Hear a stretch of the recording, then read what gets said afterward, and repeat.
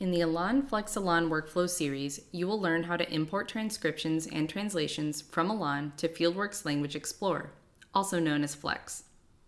To follow along with this series, you should have the following ready.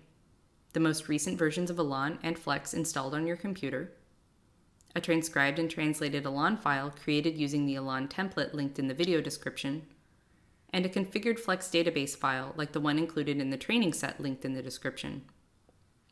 In this tutorial, you will learn how to prepare your Elan annotation file for export. To begin, you should have your annotation file open in Elan. First, we will fill in the metadata tier.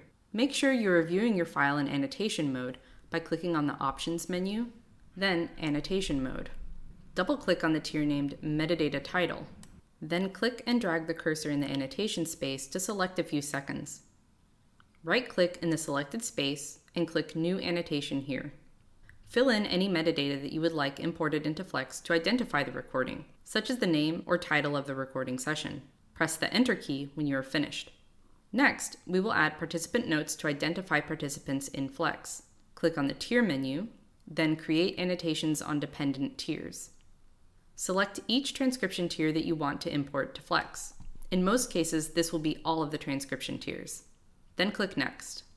Select the participant note tiers and check the empty annotation buttons next to each. Then click Finish. You should now see blank annotations in the participant note tiers for each participant.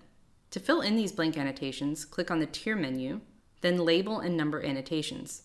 Select the Single Tier option, then check the box for a single participant note tier. Check the box Include Label part and enter the participant's initials or a code in the box to the right.